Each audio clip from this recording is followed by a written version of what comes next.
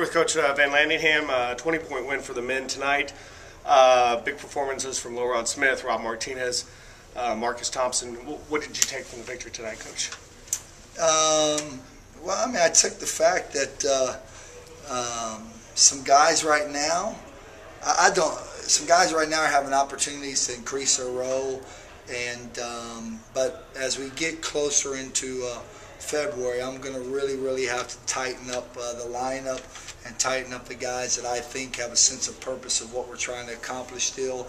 And uh, I told those guys, don't let anybody outside of the locker room tell you what you can and can't do. Don't let them tell you you're, you're doing great, and don't let them tell you you can't win it this year. Just stay with the process of improvement. And I told the guys that haven't had a chance to play a lot, this is the this is the month um, with some injuries and Mike Brown until we figure out his knee situation for you to increase your role or decrease your role going into playoff time, which is not far away. It's, the season's moving fast.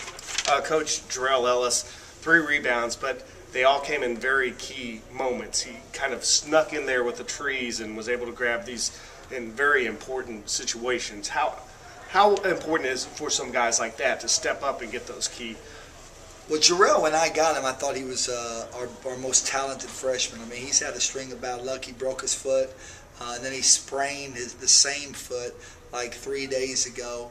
Uh, but I tell him every time he's in there, they're not junk minutes. Uh, I I am trying to groom him to be a fixture in our lineup come mid-February because I believe in his talent. He's plenty talented enough uh, to play in our league and contribute. So it doesn't surprise me when he does good things. He just has to be patient during this process and know that every minute he's out there, uh, he has to take advantage of.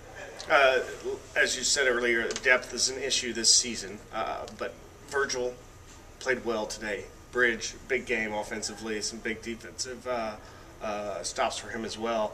Marcel, big game, even though the foul out, but he seemed to spark the team in the first half. Well, we got our hands full. Like I said, we're losing a key leader uh, as far as his passion in practice. Uh, with Eddie uh, Ortiz this week, he's got to go to his internship.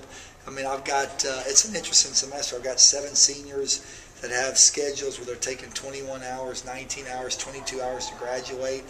So they got a lot on their mind, and and uh, I just don't want them to have any regrets. But the, the main the main thing is they, they I want them to graduate, and I want them to be proud of uh, of uh, how they finish their careers here.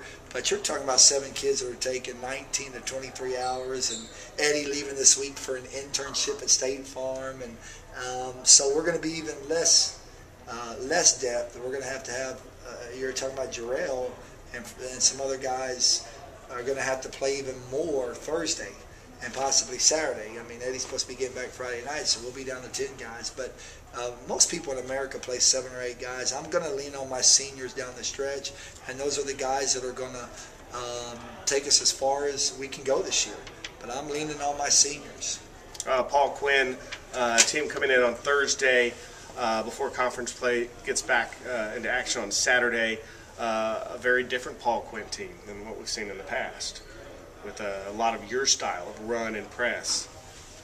Well, it'll be interesting. Like I said, we we uh, um, we're going to have to hold down the fort right here during this home stretch and get people healthy.